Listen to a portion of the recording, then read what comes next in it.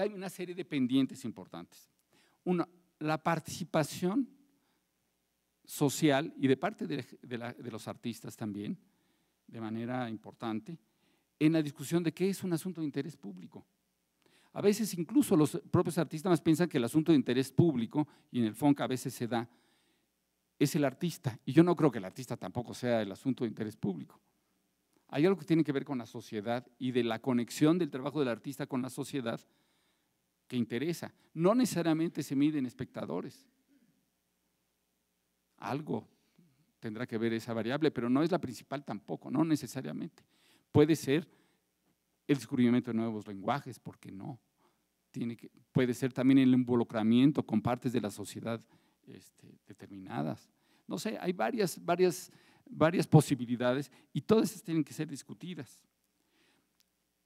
Tenemos que derrotar el síndrome del desayuno escolar. Es decir, tú te formaste, te dieron y te toca hasta que regreses a la cola, que todavía lo tenemos, ¿no? Por eso la conversación suena también tan mal, ¿Cómo? Esos se, formaron y no se quitan de la cola. Eh, pero también tenemos que entender que tenemos que abrir nuevas oportunidades, que nuestra, nuestra, el mundo del teatro, para comodidad incluso de la gente de teatro establecida, eh, yo incluida dentro de estas, eh, pues hay un mundo que no se distribuye mal, ¿no? A mí me toca de vez en, de vez en cuando. y los demás ¿Qué pasa con los demás? No tienen la menor oportunidad. Entonces, no, la política de los desayunos escolares no funciona, pero tampoco podemos estar equivocándonos constantemente, cerrando opciones y nuevas oportunidades de espacio para las nuevas generaciones o las nuevas formas de hacer teatro que a lo mejor no lo hacen las nuevas generaciones necesariamente, les tocaría, pero no son las únicas.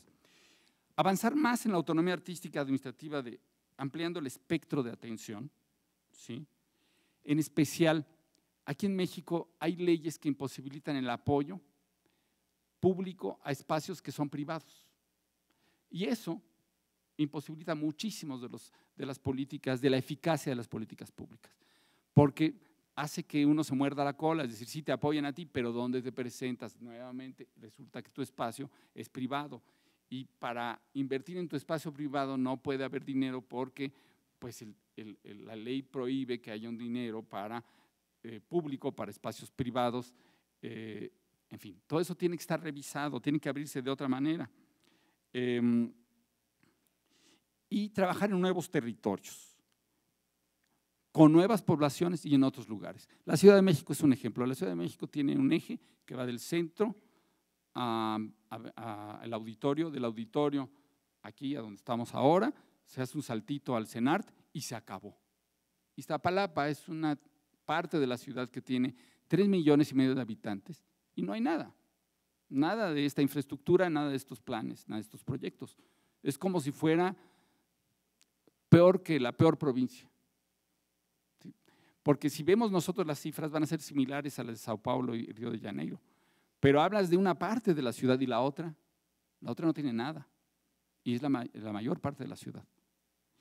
Eh, entonces, tenemos que pensar en llegar a otras partes de, la ciudad y de la nación. Y por otro lado, tenemos que pensar en abrir cauces a, otros tipos de proyectos. Y creo que el impulso al proyecto de jóvenes eh, es muy, muy importante. Que estamos cerrándole el espacio a, eh, y dejándole un mundo cada vez más difícil a los jóvenes. Nosotros cuando salimos de la escuela, pues sí, teníamos que pelear unos con otros para conseguir recursos, llevar adelante un proyecto, presentarnos, etcétera. Pero no éramos los, em, los 500 que se presentan para entrar a una escuela, los 180 que se presentaron con Enrique para el carro de comedias, los, eh, bueno, podríamos hablar de, números, bueno, los 9 mil que son aprobados en esta universidad de los 115 mil que se presentan a examen cada año. O sea, tiene que haber, como parte de la política pública, la apertura de nuevos territorios y nuevas oportunidades a, las nuevas generaciones.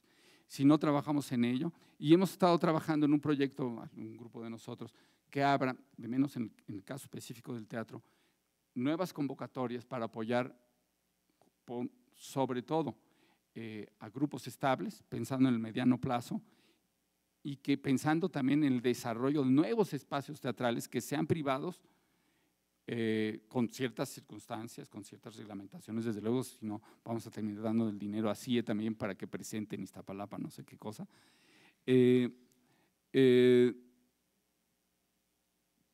pero esto también, lo que quiero decir es que existiendo estas, unas políticas públicas que dentro de todo no han cambiado en el mal sentido, son insuficientes, están rebasadas y que tenemos que dar unos pasos más adelante y que a nosotros nos corresponde no solo pensar como comunidad, que luego no lo hacemos como comunidad teatral, sino también como una comunidad de artistas, pero también como una sociedad. ¿Cuál es el interés de la sociedad en esto? Para que tenga sentido esta aportación social de todos los mexicanos al desarrollo del teatro y de las artes.